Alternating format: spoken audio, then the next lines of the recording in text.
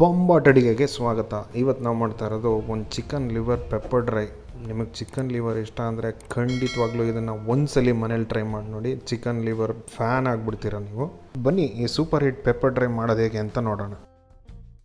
ಒಂದು non stick ಪ್ಯಾನಲ್ಲಿ ಮೂರರಿಂದ ನಾಲ್ಕು ಟೀ ಸ್ಪೂನಷ್ಟು ಎಣ್ಣೆ ತೊಗೊಳ್ಳೋಣ. ಅದಕ್ಕೆ ನಾನು ಕಾಲು ಕೆ ಜಿಯಷ್ಟು ಚಿಕನ್ ಲಿವರ್ ಹಾಕೊತಾ ಇದ್ದೀನಿ. ಇದರಲ್ಲಿ ಬರೀ ಲಿವರ್ ಪೀಸ್ ಇರೋದು. ಅದು ಲಿವರ್ ಪೀಸ್ನ ಚಿಕ್ಕ ಚಿಕ್ಕದಾಗಿ ಕಟ್ ಮಾಡಿಕೊಂಡು ಹಾಕ್ಕೊತಾ ಇದ್ದೀನಿ.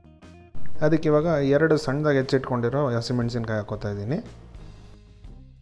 ಒಂದು ಟೀ ಸ್ಪೂನಷ್ಟು ಶುಂಠಿ ಬೆಳ್ಳುಳ್ಳಿ ಪೇಸ್ಟ್ ಹಾಕೋತಾ ಇದ್ದೀನಿ. ತುಂಬ ಜನ ಫಸ್ಟ್ ಇದಕ್ಕೆ ಈರುಳ್ಳಿ ಹಾಕಿ ಫ್ರೈ ಮಾಡಿ ಆಮೇಲೆ ಶುಂಠಿ ಬೆಳ್ಳುಳ್ಳಿ ಪೇಸ್ಟ್ ಹಾಕ್ಕೊಂಡು ಆಮೇಲೆ ಲಿವರ್ ಹಾಕೊತಾರೆ. ಬಟ್ ಈ ಥರನೂ ಒಂದ್ಸಲಿ ಟ್ರೈ ಮಾಡಿ ನೋಡಿ ನಿಮಗೆ ಡಿಫ್ರೆನ್ಸ್ ಗೊತ್ತಾಗುತ್ತೆ. ಸ್ವಲ್ಪ ಕರ್ಬೇವಿನ ಸೊಪ್ಪು ಹಾಕೊತಾ ಇದ್ದೀನಿ ಇವಾಗ. ರುಚಿಗೆ ತಕ್ಕಷ್ಟು ಉಪ್ಪು.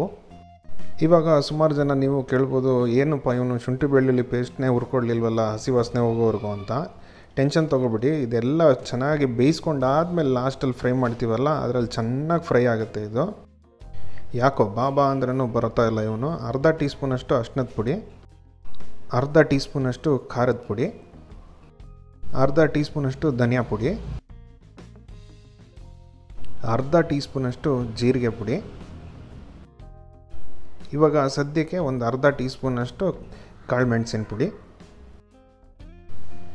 ಒಂದು ಟೀ ಸ್ಪೂನ್ ವಿನೆಗರ್. ವಿನೆಗರ್ ಇರಲಿಲ್ಲ ಅಂದರೆ ಅರ್ಧ ಲಿಂಬೆಹಣ್ಣಿನ ರಸನೂ ಹಾಕ್ಕೋಬೋದು ಚೆನ್ನಾಗಿ ಒಂದ್ಸಲಿ ಮಿಕ್ಸ್ ಮಾಡ್ಕೊಳ್ಳೋಣ.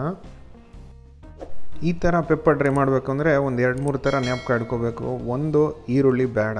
ಸ್ವಲ್ಪ ಎರಡನೇದು ಇದಕ್ಕೆ ನಾನ್ ಸ್ಟಿಕ್ ಪ್ಯಾನ್ ಯೂಸ್ ಮಾಡಿದ್ರೆ ಒಳ್ಳೆಯದು ಮೂರನೇದು ಏನಂದರೆ ಲಿವರ್ ಪೀಸ್ಗಳು ಚಿಕ್ಕ ಚಿಕ್ಕದಾಗಿ ಕಟ್ ಮಾಡ್ಕೊಳ್ಳಿ. ದೊಡ್ಡ ದೊಡ್ಡ ಪೀಸ್ ಹಾಕೋಬೇಡಿ. ಇದನ್ನು ಇವಾಗ ಚೆನ್ನಾಗಿ ಮಿಕ್ಸ್ ಮಾಡಿಕೊಂಡು ಮುಚ್ಚಲ ಹಾಕಿ ಲಿವರ್ ಬೇಯೋವರೆಗೂ ಬೇಯಿಸ್ಕೊಂಬಿಡೋಣ. ಇದಕ್ಕೆ ನಾನ್ ಸ್ಟಿಕ್ ಯೂಸ್ ಮಾಡ್ತಾ ಇರೋದ್ರಿಂದ ನಾನು ನೀರು ಹಾಕ್ತಾ ಇಲ್ಲ. ನೀವೇನಾದರೂ ನಾನ್ ಸ್ಟಿಕ್ ಯೂಸ್ ಮಾಡ್ತಾ ಇಲ್ಲ ಅಂದರೆ ಒಂದು ಕಾಲು ಕಪ್ಪಷ್ಟು ನೀರು ಹಾಕೋಬೋದು. ನೋಡಿ, ಮೂರ್ನಾಲ್ಕು ನಿಮಿಷಕ್ಕೇ ಈ ಥರ ನೀರು ಬಿಡೋಕ್ಕೆ ಸ್ಟಾರ್ಟ್ ಆಗುತ್ತೆ. ಇದೇ ಥರ ಚೆಕ್ ಮಾಡ್ಕೊಳ್ತಾ, ಮಧ್ಯ ಮಧ್ಯ ಮಿಕ್ಸ್ ಮಾಡ್ಕೊಳ್ತಾ ಇದನ್ನು ಚೆನ್ನಾಗಿ ಬೇಯಿಸ್ಕೊಳ್ಳೋಣ. ನೋಡಿ, ಇವಾಗ ಒಂದು ಹತ್ತು ನಿಮಿಷ ಆಗಿರ್ಬೋದು, ಇನ್ನೂ ಎಷ್ಟು ನೀರು ಬಿಟ್ಟಿದೆ ನೋಡಿ. ಇವಾಗ ಏನು ಮಾಡೋಣ, ಇದನ್ನು ಮುಚ್ಚಲ ಹಾಕಿ ತಿರ್ಗಾ ಬೇಯಿಸ್ಕೊಳ್ಳೋದೇನು ಬೇಡ. ಇವಾಗ ಓಪನ್ ಆಗಿ ಇದೇ ಥರ ಚೆನ್ನಾಗಿ ಫ್ರೈ ಮಾಡ್ಕೊಳ್ತಾ ಹೋಗೋಣ. Five minutes later ten minutes later ಸ್ವಲ್ಪ ಈ ಥರ ಕಾಣುತ್ತೆ. ಇದಕ್ಕೆ ಇವಾಗ ಸ್ವಲ್ಪ ಕಾಳು ಮೆಣಸಿನ ಪುಡಿ ಹಾಕ್ಕೊಳ್ಳೋಣ ಪೆಪ್ಪರ್ ಡ್ರೈ ಅಲ್ವಾ, ಸಕ್ಕದಾಗಿ ಪೆಪ್ಪರ್ ಹಾಕ್ಕೊಳ್ಳೋಣ ಆಮೇಲೆ ಇದಕ್ಕೆ ಸ್ವಲ್ಪ ಕೊತ್ತಂಬರಿ ಸೊಪ್ಪು, ಸ್ವಲ್ಪ ಕರಿಬೇವಿನ ಸೊಪ್ಪು. ಆಮೇಲೆ ಇನ್ನೇನು, ತಿನ್ನೋ ರೀತಿ ಎರಡೇನೇ ಇದಕ್ಕೆ ಒಂದು ಇಲ್ಲ ಗುಂಡು ಹಾಕ್ಕೊಂಡು ಸೈಡಲ್ಲಿ ಜಾಕ್ನ ಥರ ತಿನ್ನೋದು, ಇಲ್ಲ ಅಂದರೆ ಒಂದು ಒಳ್ಳೆ ರಸಮ್ ಮಾಡಿಕೊಂಡು ಒಳ್ಳೆ ಸೈಡಲ್ಲಿ ಬ್ಯಾಟಿಂಗ್ ಆಡೋದು. ಅಂಟಿಲ್ ನೆಕ್ಸ್ಟ್ ಟೈಮ್ ಬೊಂಬಾಟ್ ಅಡಿಗೆ ಸೈನಿಂಗ್ ಆಫ್ ಸಿ ಯು ನನ್ ಅದ ಗ್ರೇಟ್ ವಿಡಿಯೋ ಬಾಯ್ ಬಾಯ್